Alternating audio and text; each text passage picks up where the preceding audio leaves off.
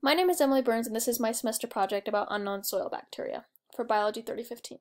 For this project, the main objective is to isolate and identify pesticide-degrading bacteria from a soil sample. We're collecting these on the behalf of the ERSM. The location where my soil sample was collected was on the coordinates 40.65 latitude, negative 111.87 longitude. This is in the city Murray, Utah. The collection date was on December 30th, 2019, and as you can see with the pinpoint on the left, the soil location was of a residential lawn soil. This is definitely an urban location with lots of development over the years. This location was picked because seasonal pesticides have been used on this lawn for over five years consistently. The pesticide is known as ACE weed and feed, um, and the uh, pesticide analysis is printed on the label. Now it is likely to find pesticide-degrading bacteria in this location because of the continual use of this pesticide, and the bacteria that live here have likely adapted to it and could possibly degrade it themselves. So why do we care about pesticide-degrading bacteria? If we can identify the enzymes pesticide-degrading bacteria have and use to degrade their pesticides, we could use this to protect people who are consistently exposed to the toxic agent themselves. For example, we have farmers who are consistently exposed, as well as soldiers in wartime are also exposed and it can be really harmful. The methods for this project consist of six basic steps. We have the collection, revitalization, enrichment, outgrowth, isolation, and then finally the characterization and identification.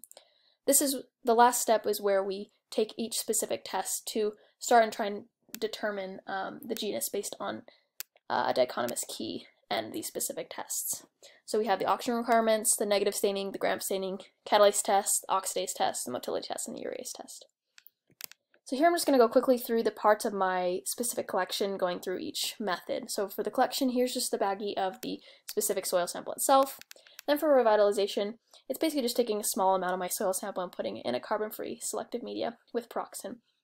This is abbreviated CSMPX. For the enrichment, it's just a continual change of CSMPX into new tubes with um, new bacterial, uh, the bacterial soil. For the outgrowth, it is just an enriched soil culture transferred to the sterile LB medium, and then finally grown at 27 degrees Celsius in a dark shaking incubator. For the left, you can see the newly inoculated uh, LB medium with the soil culture, and then on the right is just the culture after a week of growth. So the cloudiness indicates the growth. Now for the isolation, we just took the broth of growth and streaked it for isolation uh, for a specific colony that we can use to do the tests on. The characterization of a colony A took a series of different steps, as I stated before, um, with different tests to determine each specific characteristic of the colony A. So for the oxygen requirements, colony A found that was facultative anaerobe. The negative staining found that the shape was vibrio, the size was 1.36 micrometers, and the grouping was single. The gram staining, we found that it was gram negative, the size was 1.25 micrometers, and then the capsule was very likely to be present as well, because of the size difference between the negative staining and the gram staining. For the oxidase test, we found that it was oxidase positive. For the catalase test, we found that it was catalase positive. For the urease test, we found it was urease positive. For the hanging motility test, I found that it was non-motile. After the specific characterization tests were complete, I was able to somewhat identify the genus of my unknown colony. So I'll walk you through this process based on the test results and the dichotomous key. So they were straight cells with their rods. They were gram-negative. They were facultatively, facultatively anaerobic. They were vibrioid. And from this point, we just took the urease test, and the one that was positive was the one that was likely the genus. That was the most closely related. Now, because the characterization techniques can be done incorrectly, this dichotomous key isn't the best way to determine even the genus of colony A. And this is where we start to go into DNA sequencing and online databases for help to find the closest matches. So after isolating the colony A DNA, PCR was used to amplify the single subunit ribosomal RNA and sent off to sequencing to help determine the closest related, to help determine the sequence. Uh, this is the results of the sequencing. Um, you can see that there are very good peaks here with little interference, which means that we had a, like a very pure culture. Um, there are 525 bases, which is slightly less than what we usually want to have, but it will work. So from this, we took this sequence of 525 bases and blasted it. And after the blast, it compares the known species with matches of the DNA sequence um, I inputted. So here are my results of the colony A's closest relatives. So we have uh, a lot of, we have the genus Aminobacter that is consistent throughout. Um, we have Aminobacter niga, the Aminobacter aminovorans, the Aminobacter aganoensis, and then the Aminobacter ciceronei.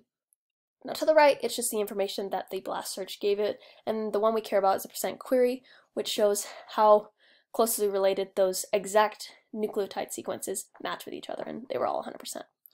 So what we I also want to know is the number of hits, and this is what determined what I, what specific species I started researching. The one that had the most amount of hits was the Aminobacter aminovorans. Um, and so this is where I decided to start looking on information on the internet to see if my characterization techniques matched up. I found that the Aminobacter aminovorans was in the domain bacteria. Uh, the kingdom was unspecified. The phylum was Proteobacteria. The class was Alpha Proteobacteria. The order was Rhizobiales. The family was Phyllobacteriaceae. The genus was Aminobacter, and the species was Aminovorans. So I also noticed this map that I found online with uh, the Aminobacter known species, and four of them are the ones that showed up on my blast search. The rest are unclassified. So after researching, there wasn't really much that I found about the Aminobacter aminovoran species, so I brought in the search to the genus itself to compare. So this table is the comparison between my unknown colony A and then the Aminobacter species. Uh, just the genus itself. So for the gram stain, they were both gram-negative. For the cell size, the Aminobacter species was 1.3 micrometers. My colony was 1.36 micrometers. The cell shape was Vibrio for both. The oxygen tolerance uh, was a little difficult to find in the Aminobacter uh, genus itself because they were a little different, but for my unknown colony A, was facultative anaerobe. The growth temperature was 25 to 30 degrees Celsius. Um, for my colony, it was 27 degrees Celsius which is consistent, and then the location were both found in soil. Now the one difference was the motility, which the Aminobacter species uh, was said to have motility, but the one I observed did not. So this was probably likely due to an experimental error with the hanging drop motility test, um, that if I just waited longer to see, we likely would have seen the movement. Um, then there was no info on catalase tests or oxidase tests of the urease or the capsule, so I just put this in this um, column, so it's all together. Now, in conclusion, it's extremely difficult to tell which of the known Aminobacter species colony A is, um, just based on the research. Uh, there wasn't that much out there, so that's just kind of how science works sometimes. Um, but the question is the genus pesticide degrading itself, and I did find some information that a couple species did degrade some pesticides, such as nitrilotriacetate um, and methyl carbamate insecticides and triazine herbicides. So the next is my citations for all the research information I found about the Aminobacter species, and thank you for your time.